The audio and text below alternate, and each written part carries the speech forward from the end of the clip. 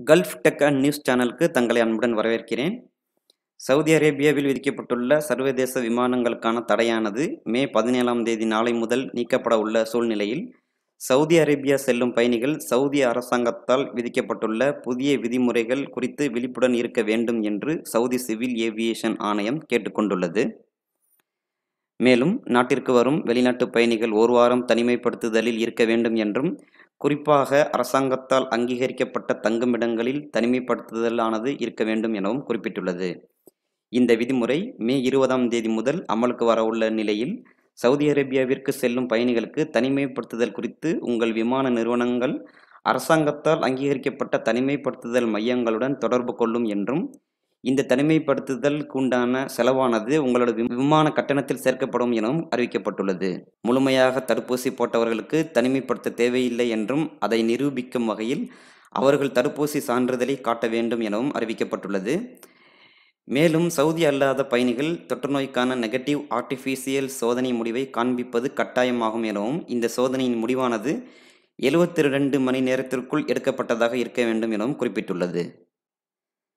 Saudi அரேபியாவில் சர்வதேச விமான சேவை தொடங்க உள்ள சூழ்நிலையில் சவுதி அரேபியாவிற்கு செல்லக்கூடியவர்களுக்கு உண்டான தனிமைப்படுத்துதல் மற்றும் பிசிஆர் விதிமுறைகள் குறித்து தகவல்கள் தகவல்கள் வெளியிடப்பட்டுள்ளன. அதன்படி சவுதி அரேபியாவில் தொற்று நோயால் பாதிக்கப்பட்டவர்களின் எண்ணிக்கையை விட அதிலிருந்து மீள்பவர்களின் எண்ணிக்கை அதிகமாக இருப்பதாக அறிவிக்கப்பட்டுள்ளது. கடந்த இருபத்தி நான்கு மணி நேரத்தில் இந்த நோயிலிருந்து ஆயிரத்தி பன்னிரெண்டு பேர் மீண்டுள்ளதாகவும் புதிதாக எட்நூற்றி முப்பத்தி ஏழு பேர் பாதிக்கப்பட்டுள்ளதாகவும் தெரிவிக்கப்பட்டுள்ளது. இதுவரை நாட்டில் மொத்தமாக பாதிக்கப்பட்டவர்களின் எண்ணிக்கை நான்கு லட்சத்து முப்பத்தி இரண்டாயிரத்தி இரநூத்தி அறுபத்தி ஒன்பதாக உள்ளதாகவும் இதுவரை இந்த நோயிலிருந்து மீண்டவர்களின் எண்ணிக்கை நான்கு லட்சத்து பதினாறாயிரத்து எழுநூற்றி ஐம்பத்தி ஒன்பதாக உள்ளதாகவும் அமைச்சகம் தெரிவித்துள்ளது. மேலும் நாடு முழுவதும் பல்வேறு மருத்துவமனைகளில் நோயாளிகளின் எண்ணிக்கை எட்டாயிரத்தி முந்நூற்றி அறுபத்தி மூணாக குறைந்து உள்ளதாகவும் இவர்களில் ஆயிரத்தி முந்நூற்றி முப்பத்தி ஆறு பேர் ஆபத்தான நிலையில் உள்ளதாகவும் சிகிச்சைக்கு உட்படுத்தப்பட்ட மற்றவர்களின் ஆரோக்கியம் திருப்திகரமாகவும் உள்ளதாகவும் அமைச்சகம் தெரிவித்துள்ளது. இந்த ஆண்டு ஹஜ் யாத்திரைக்கான செயல்பாடு திட்டங்கள் குறித்து விரைவில் அறிவிப்பதாக சவுதி அரேபியாவின் ஹஜ் மற்றும் உம்ரா அமைச்சகம் தெரிவித்துள்ளது. அதன்படி தொற்றுநோய்க்கான சுகாதார கட்டுப்பாடுகள் மற்றும் தரவுகள் குறித்து தீர்மானிக்கப்படும் என்றும் ஹஜ் செய்யக்கூடிய யாத்ரீகர்களின் பாதுகாப்பையும் அவர்கள் எளிதாக பிரார்த்தனை செய்யக்கூடிய சூழலை உருவாக்க அமைச்சகம் உதவும் என்றும் தெரிவித்துள்ளது. மேலும் சுகாதாரத்துறை அதிகாரிகள் தொடர்ந்து நிலைமைகளை மதிப்பீடு செய்து வருவதாகவும் யாத்ரீகர்களின் ஆரோக்கியத்தை பாதுகாக்கவும் அவர்களின் பாதுகாப்பை உறுதி செய்யவும் தேவையான அனைத்து நடவடிக்கைகளையும் மேற்கொள்வதாக அமைச்சகம் தெரிவித்துள்ளது.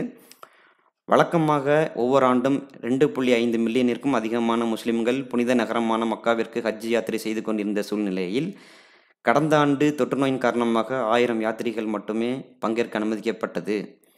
தொற்றுநோய் காரணமாக எல்லைகள் மூடப்பட்டதால் சவுதி அரேபியாவில் இருப்பவர்கள் மட்டுமே இதில் கலந்து கொள்ள முடிந்தது என்பது குறிப்பிடத்தக்கது. சவுதி அரேபியாவில் ஈதுல் ஃபித்ர் பண்டிகையின் முதல் இரண்டு நாட்களில் தொற்றுநோய்க்கான சுகாதார விதிமுறை மீறியதற்காக ஜித்தாவில் உள்ள தொண்ணூற்றி ரெண்டு வணிக நிறுவனங்கள் மூடப்பட்டுள்ளதாக சவுதி பத்திரிகை நிறுவனங்கள் தெரிவித்துள்ளது. இது குறித்து வெளியிடப்பட்டுள்ள அறிக்கையில் நகராட்சி அதிகாரிகள் தொற்றுநோய்க்கான முன்னெச்சரிக்கை நடவடிக்கைகளை வணிக நிறுவனங்கள் முறையாக பின்பற்றுகின்றனவா என்பதை உறுதி செய்வதற்காக ஆய்வுகள் மேற்கொண்டது. இந்த ஆய்வில் ஈதல் ஃபித்ரு பண்டிகையின் முதல் இரண்டு நாட்களில் முன்னூற்றி இருபத்தி மூணு விதிமீறல்கள் கண்டறியப்பட்டதாகவும் இதைத் தொடர்ந்து தொண்ணூற்றி ரெண்டு வணிக நிறுவனங்கள் மூடப்பட்டுள்ளதாகவும் அறிவிக்கப்பட்டுள்ளது. இதுபோன்ற செய்திகளை உடனுக்குடன் தெரிந்து கொள்ள கல்ஃப் டெக் அண்ட் நியூஸ் சேனலை சப்ஸ்கிரைப் செய்து கொள்ளுங்கள். கூடவே உள்ள பெல் ஐக்கானையும் கிளிக் செய்து கொள்ளுங்கள். நன்றி.